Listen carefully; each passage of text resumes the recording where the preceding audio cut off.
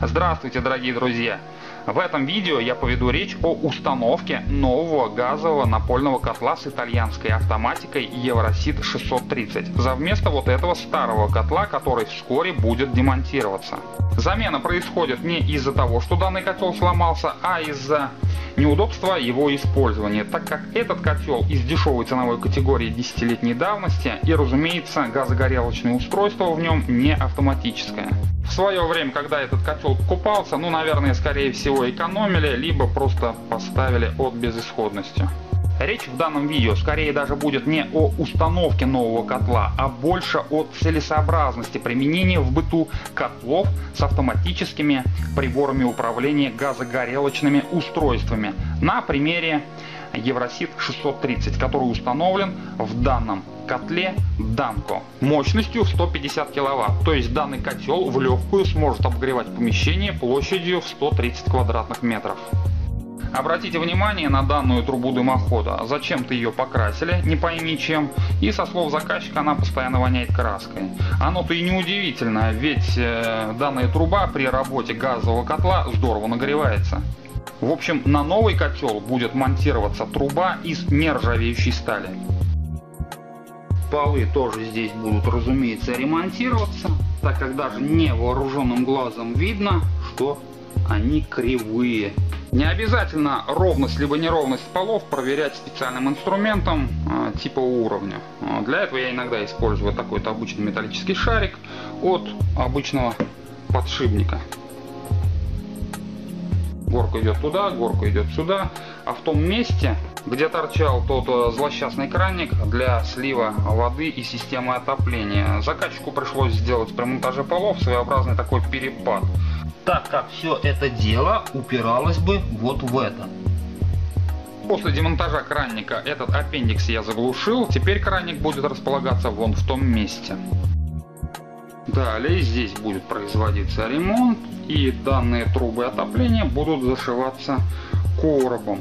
И данная торчащая пипка а, как раз закроется на толщину направляющего профиля и зашьется коробом. Делали это, конечно же, не специалисты, а сам заказчик. А, после монтажа нового котла а, здесь будет э, производиться монтаж нового ровного пола. Но видеоролик сейчас не об этом. Вода была мною система уже полностью слита и система была еще плюс ко всему и промыта. Сейчас можно приступать к демонтажу данного старого напольного котла. Для этого придется выполнить 4 операции. Открутить здесь, открутить здесь, демонтировать трубу дымохода и демонтировать подачу газа а, в газовый котел.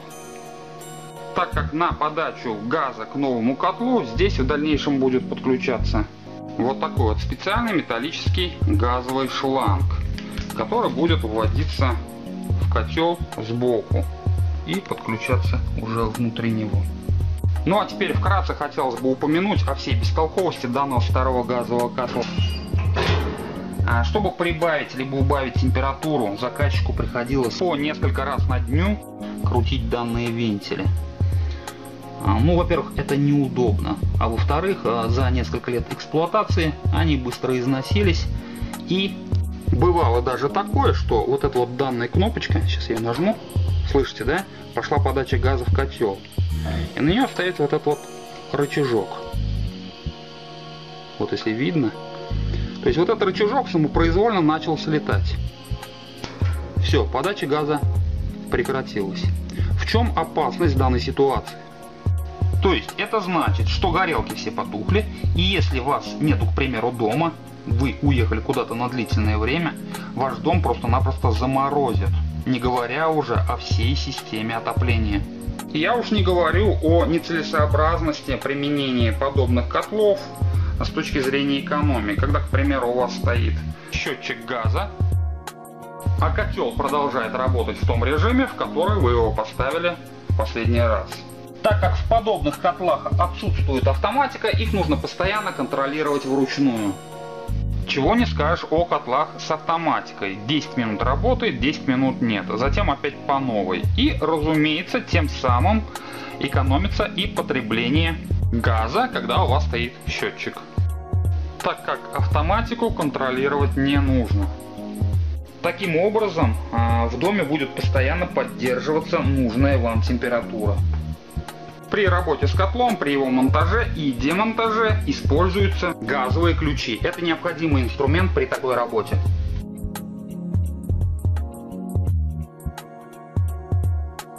В общем, при монтаже данного газового котла когда-то а здесь все было замазюкано краской. То есть использовался такой старый дедовский метод, когда на резьбы наматывался сначала лен, потом данный лен обмазывали масляной краской, и только потом все это дело затягивалось. А, то есть такие соединения, обмазанные и замазанные краской, а, разбирать довольно-таки в общем, трудоемкое занятие. Плюсом данной модификации котла является еще и то, что внутри него расположен бойлер. То есть сюда подключается ввод холодной воды, а вода внутри котла нагревается и отсюда уже выходит горячая вода, которая затем направляется к смесителю на кухню. Количество горячей воды, которую будет прогревать котел, будет вполне достаточно, чтобы помыть посуду. Ну а для более серьезных задач уже устанавливаются отдельные большие бойлеры. Данный котел будет монтироваться к данным трубам отопления с помощью полипропиленовых труб. В общем, пожженных стен, полов, потолков, гари, копоти, дыма, как это происходит при сварочных работах а, с металлическими трубами, здесь не будет.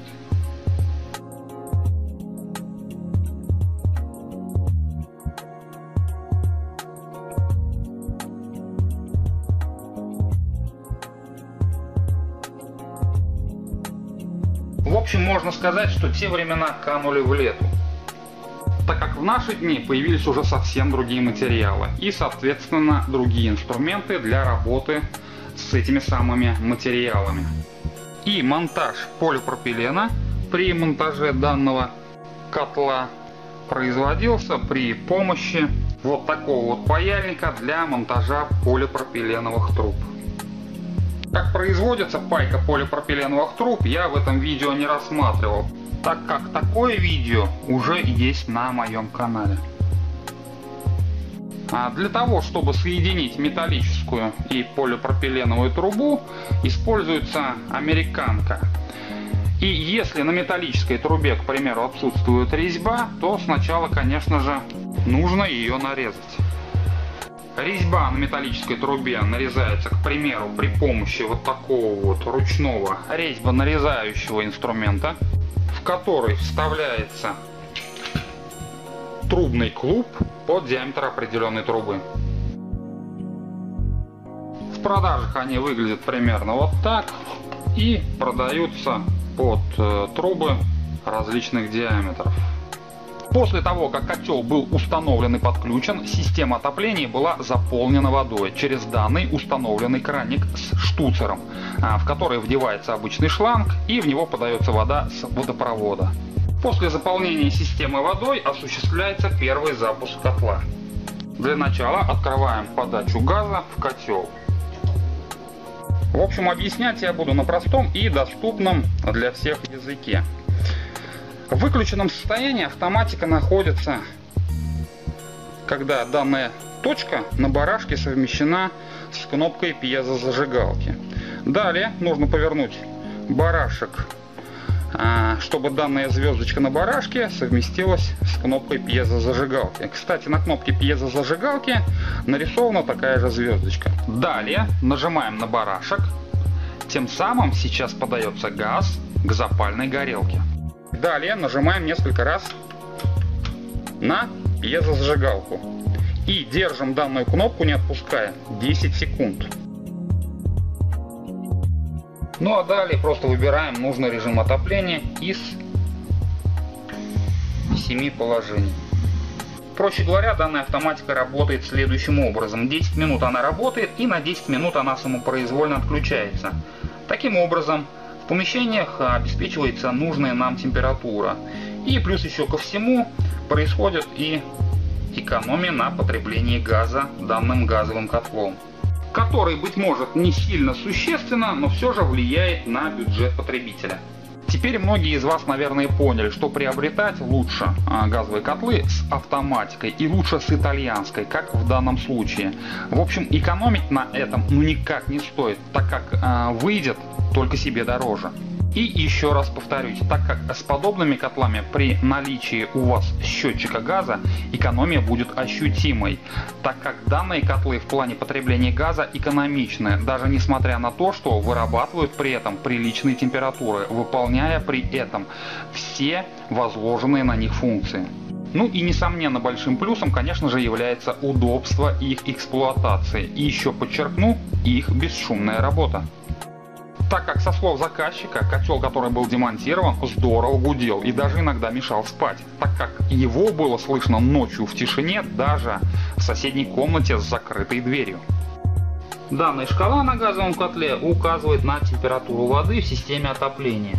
На данный момент котел работает на самом минимальном режиме и как видите температура воды в системе отопления 40 с копейками градусов. Сейчас на улице минус 5 градусов, в доме плюс 25. И как мы видим, счетчик газа, когда котел в очередной раз автоматически отключился, счетчик газа перестал насчитывать. Сейчас я наглядно подловлю момент, когда он опять включится. Итак, вот он включился и счетчик тоже начал движение своих циферблатов. И так повторяется примерно через каждые 10 минут. Посмотрев данное видео и усвоив для себя информацию, думаю теперь многие из вас сделают правильный выбор. И на этом у меня пожалуй на сегодня все. И мне остается лишь вам пожелать уюта и тепла вам в ваших жилищах. Подписывайтесь на мой канал, обращайтесь, всего вам доброго и до новых встреч!